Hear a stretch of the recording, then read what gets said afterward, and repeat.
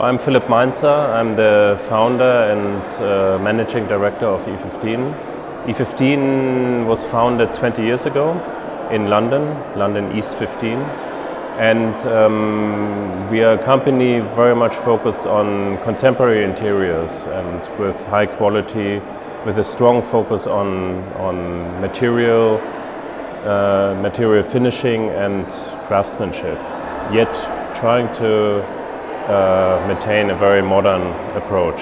One collection that definitely sticks out is the Ferdinand Kramer collection, which um, we also named especially Ferdinand Kramer collection.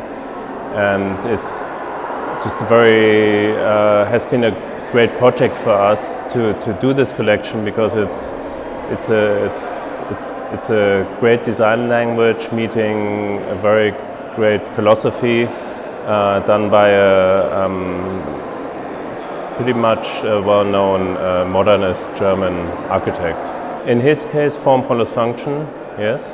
Um, he was a modernist, he was, um, uh, he was an architect uh, and a furniture designer, so he designed for furniture for all his projects and um, always was looking for the, the, the most pure, purest uh, approach to, to design a piece rather than um, designing for the design's sake. So it's, it's very much in, in line with the philosophy of E15. Good design should uh, look like it hasn't been designed.